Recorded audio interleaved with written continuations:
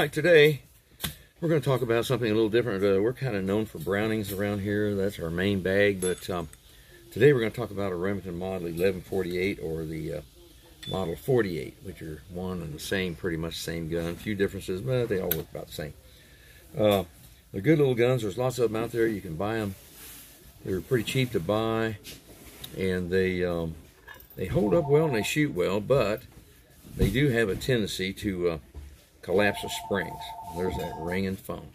So they do have a tendency to collapse springs, and once they do that, of course, they really start thumping you around. They really start kicking you around. So I've got a kit for these now that uh, replaces these uh, springs and uh, gets them going to where they it really tames them down and makes them shoot a whole lot milder.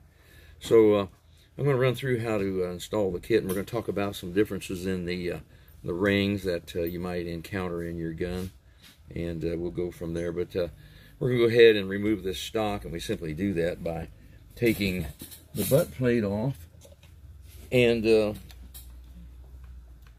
taking our long screwdriver and uh, removing the stock. That's pretty easy to do. Like so. I've got a guard on my screwdriver. We talked about that before, so I don't get down beside the bolt and split the side of the stock.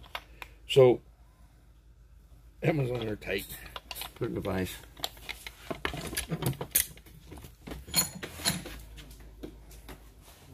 Golly. This one. Oh, may, that one may have never been taken off. I don't think I have.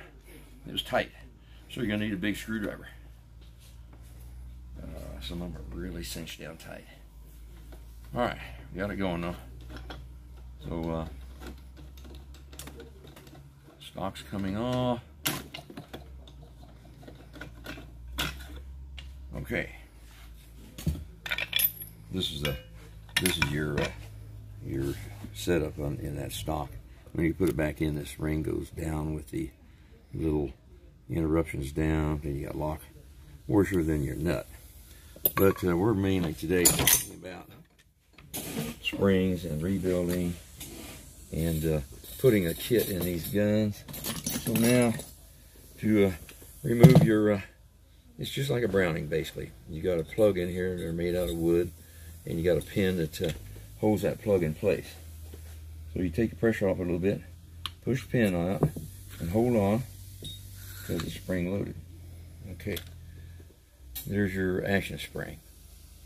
Uh, it has a uh, uh, follower and the action spring plug. I don't have these plugs made up yet, but you rarely ever need them. They are made out of wood, but they hold up quite well.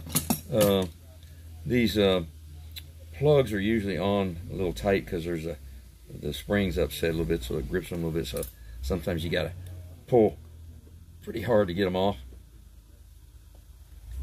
That was a tight one. All right, let me step around and grab a new spring. that laying out.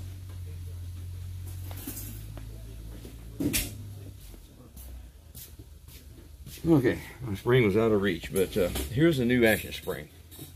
And if we compare it to the old one, you can see how how short this old one is. Uh, they collapse, that's what they do. So, simple matter to put your action spring in, you put your wooden plug in, you uh, put your follower back on. Make sure you get it right. You want to make sure this little indention in here, this little hollowed out area is up because that's what goes in to the links. So uh, there's your uh, follower in place. Now, let's go ahead while we're at it.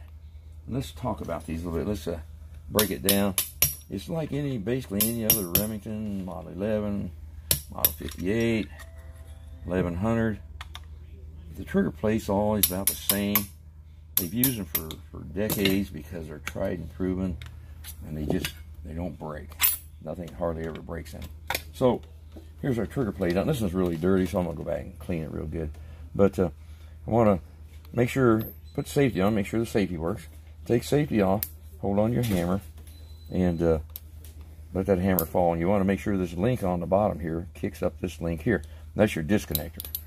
Uh, sometimes it's easy to do when you put these back together. Just swap these around. Check them, make sure they disconnect like that. Hold your trigger. hold the trigger, let the hammer drop, then it should cock again. So it's disconnecting. Now, something just happened on this one when I took it apart. The uh, shell stop fell out. Um, there's usually staked in place. That's common and it's not a serious matter. I'll show you how to kind of put that back in.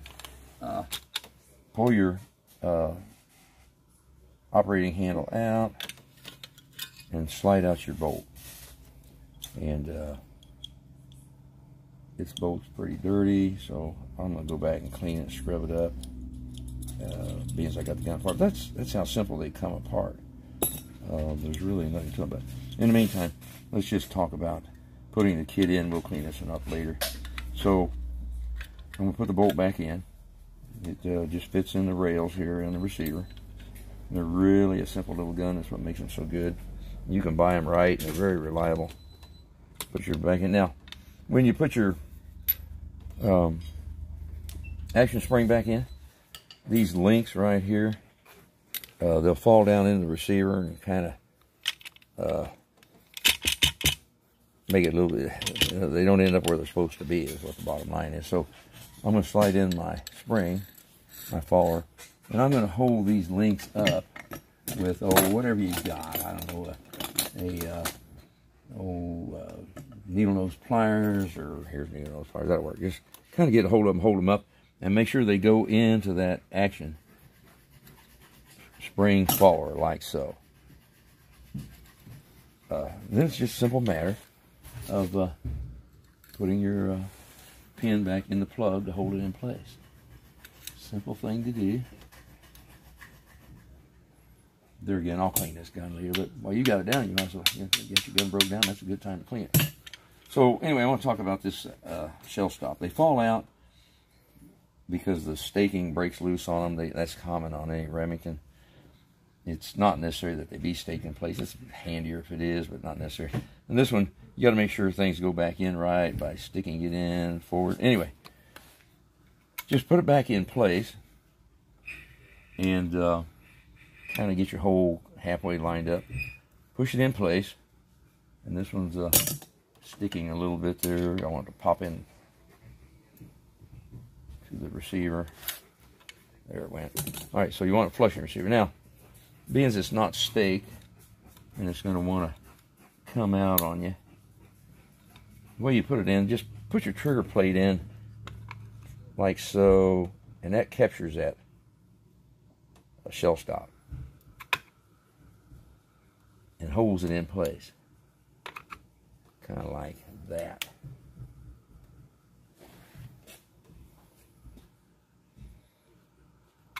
Now I'm going in pretty tight. You got to make sure it's, it's laying in the side of the receiver, right where it's supposed to be. And uh, I'll see if I can pop this one in at the bottom. It's protruding out a little bit. I don't think I got it exactly there. I don't think I had it in the front front end correctly. All right. That all feels good. Then just rotate that trigger plate in from the back, like so, and that'll hold it in place. Then slide back and line up your hold. Your trigger plate. There. as long as that place up there in place where it belongs, it'll hold that shell stop in place. So that's that. Pull your bow back. Stays over. Okay. The shell stops where it belongs. Alright, so now we just put the stock back on.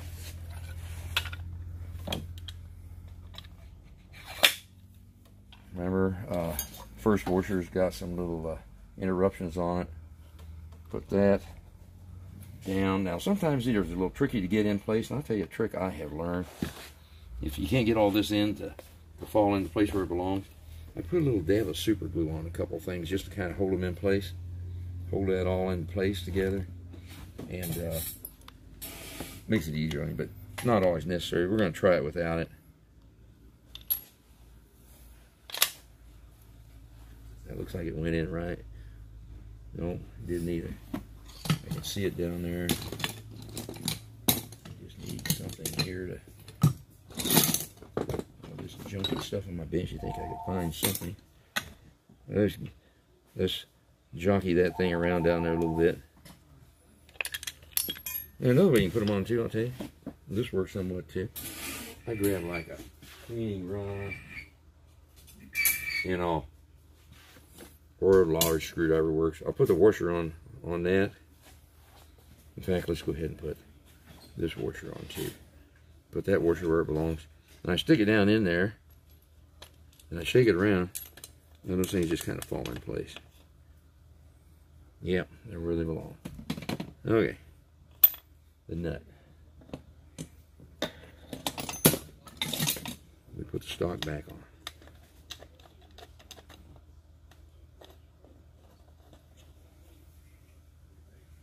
Yeah, this, these the nuts on these things, they tend to cock sideways on you, what have you.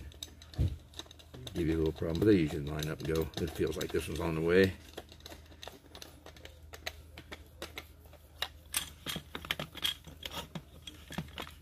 And just snug it down good. You don't want it to come loose on you. Like that. Put plate screw back in place.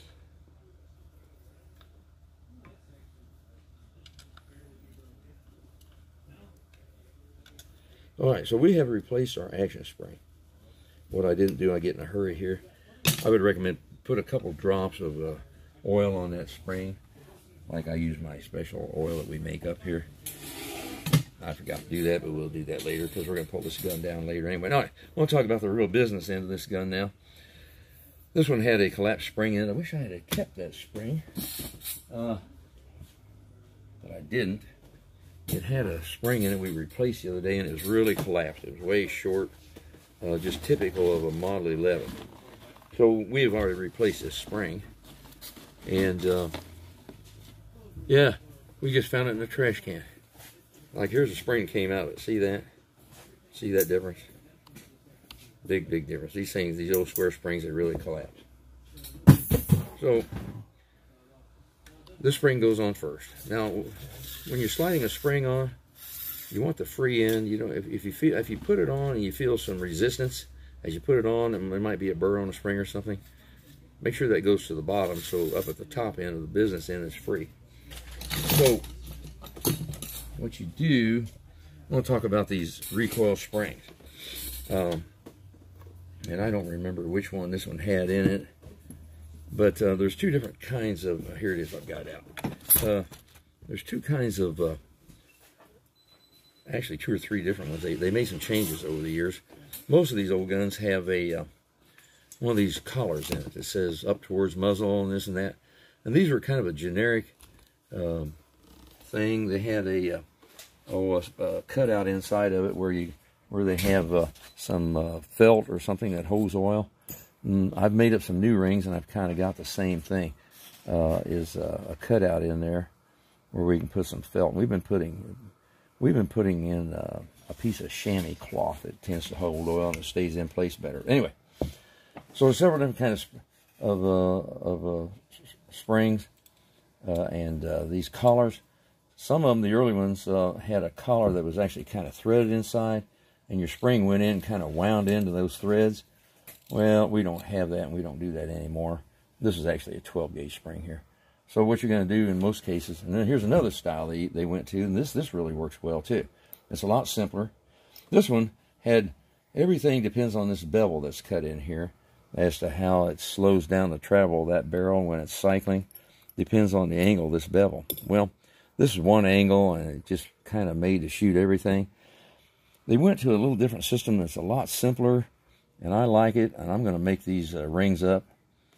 Um, here's the way they work. There's more of a taper on this one side, and I flip it over and there's uh, uh, less of a taper, angle I should say. And this side, if this is up, this has less of an angle. And here's something else I can show you. There's a, a piece in your barrel that sticks in your barrel. And I haven't made these up yet, but we're in the process. Um, and these pieces, they can get lost, but they're not likely to because they stick in a barrel ring. This is called a friction piece. And I thought they were solid copper or bronze or something. But on closer examination, we found out they're actually, we ground on this a little bit, they're actually steel, and they have kind of like a heavy copper plating on them. And so that copper slides in on your magazine tube instead of the bare steel. And uh, we're in the process of making those up. It's a little tricky to make those up because we can make a spring easy enough, but we got to find somebody that can put a heavy copper coating in there plating. But anyway, in the meantime, these don't go bad very often. But anyway, that should stick in your barrel like so and not come out anyway. So we've got the, our friction ring in place. And here's a new system that I really like a lot. It has a, a little collar that sits on top of your spring. What that does, it kind of gets rid of all the jagged edges on the spring. And so there's a cutout in here. Stick that on the spring like so. And now this bevel, this ring, is set for heavy loads and light loads. And you just do that by turning it upside down. It says so on the ring itself. It says right there. Up for light loads, up, up. And you turn it over, up for heavy loads. I'm going to set it for light loads. I usually test fire with light loads because I don't like getting kicked around. So, put your recoil spring on, and your little collar goes on top of it. Let's set this for uh, light loads with, a, with the uh, shallow bevel up, like so. And these guns too, while you've got your gun down, I recommend, this is a long recoil system, and all this slides on this magazine tube. You might want to polish that too uh, with some fine emery cloth of some sort. And uh, that'll help the gun cycle. And then, as always, like on a Browning, just a couple drops of this oil, which we enclose in our kit.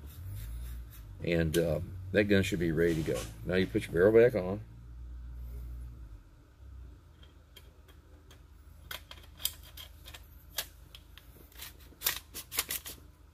This is a 20 gauge gun. I guess I mentioned that. I don't remember. But this is a 20. And we have kits right now for 20s and 12s. And the 16s will be available very shortly.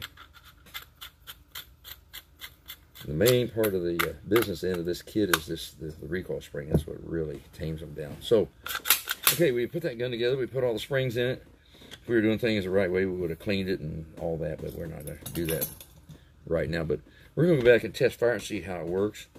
Uh, these guns really stomp you when they've got those old collapsed springs in them. And these new springs really tame them down. It saves you and saves the gun and makes makes life better for everybody. We'll, we'll go shoot it see what it does. Here, shooting tube. This doesn't go out into no man's land. This actually goes into a large bullet trap that's back in the back.